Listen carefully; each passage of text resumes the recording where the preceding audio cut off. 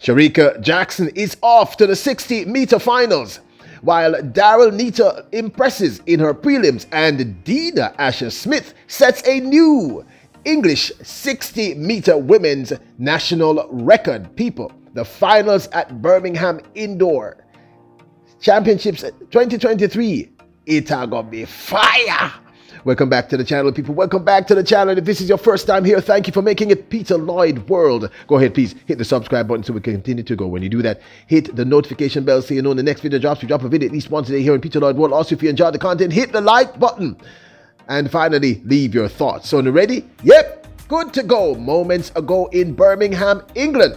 The big three in the women's 60 meter dash in their preliminaries all delivered, and some delivered even more than anticipated. Shericka Jackson, the one, Dolly the Superwoman, Daryll Neita, and Dina Asher Smith are all safely through to the final.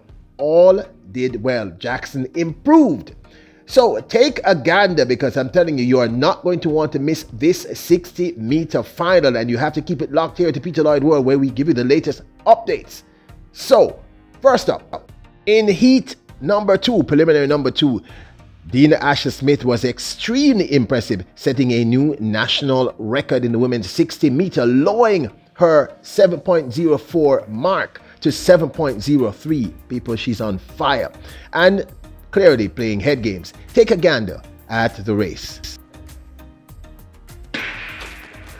Away cleanly, Asher Smith got an excellent start with Smith Barnett alongside her. Also going well is Asha Philip. It's Asher Smith who takes it from Smith Barnett, and I think Lucan Kemper came through officially. So Dina Asher Smith for the second time in this. In heat number one, it was Jamaica's Shericka Jackson and Daryll Neita who ended up in the first and second position. Neita, of course, in that number one spot. Take a look.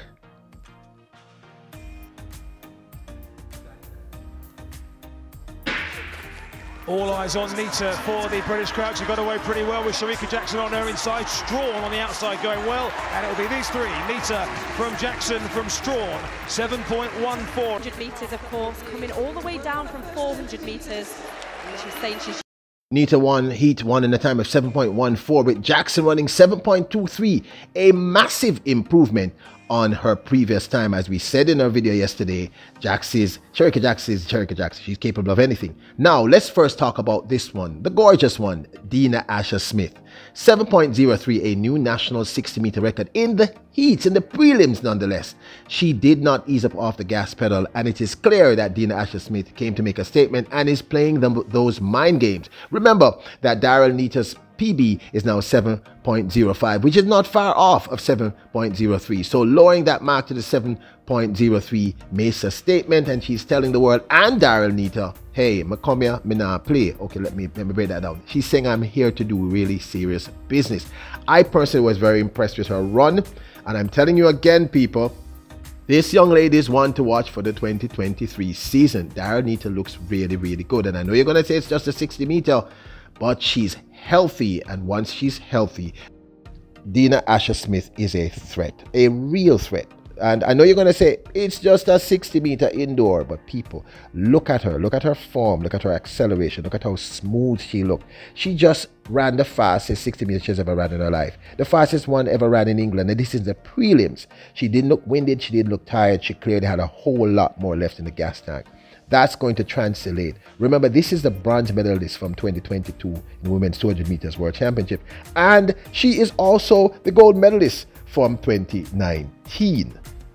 Now, it's very, very evident that both ladies had two different techniques going into their prelims. Daryll Neita was not pushing hard. She was just smooth and easy. She looked really, really good. Um, the 7.14 is not a 7.03, but I think she has a whole lot more left in the gas tank.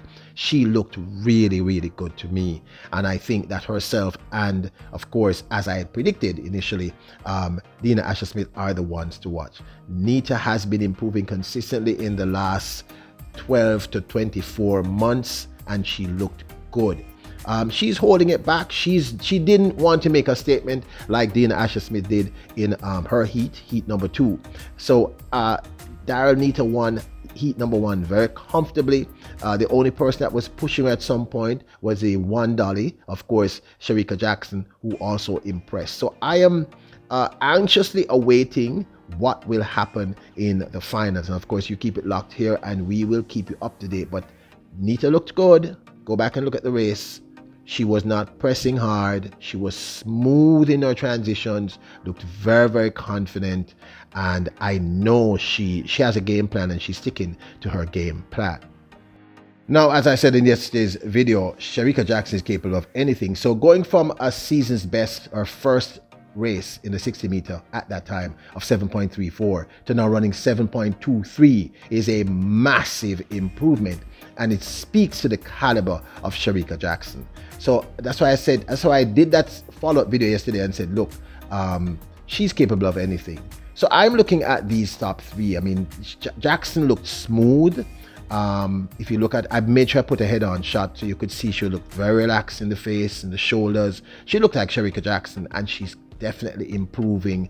I just said it, 7.34 now down to 7.23. Those are, those are huge numbers, and I think if she runs in the finals, which I think she will, she's going to further improve that. It's Shericka Jackson.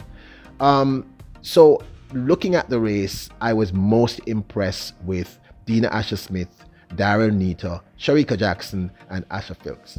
Uh, all four looked really good. I think Jackson is going to be in that top three, and she's probably capable of pulling a surprise. I do must admit it's a little un- unlikely, but it is possible. Um, wow, Dean Asher Smith looks incredible. But Daryll Neita clearly has a lot in the tank, and you know she's holding back a lot. So that that final people keep it locked here to Peter Lloyd World is going to be fire. Fire! I can't wait to see that. I'm super excited. Um, I'm most excited to see this race more than any other race over there, the Birmingham Indoor um, Championship. So I'm looking at the. I still think that the, the, top spot is really between Dina Asher Smith and Daryll Neita. You know, but Dina looks really good. Daryll Neita clearly is holding back, and Jackson looked really, really good you know. But this, of course, is just my two cents. I would absolutely love to hear your thoughts. Who do you think is going to win? I mean, do you think that Jackson can pull it off? And don't be emotional and because you're Jamaican and you say, yep, and Shericka, go in, you know, Shericka. No, no, don't do that. Don't just look at the numbers and be practical. The truth is, um, Dean Asher Smith just set a new national record for England. 7.03. But don't forget, um, Daryll Neita is not far behind with that 7.05. Those are pretty, still pretty close numbers. And Dina Asher Smith did not look winded. She looked like she have a crap more in the tank, whole heap more. And so did Daryll And like I said, we girl Shericka look good. Now, don't forget to hit the subscribe button, hit the notification bell, hit the like. But remember, you are royals. You're my kings and queens. Bless up.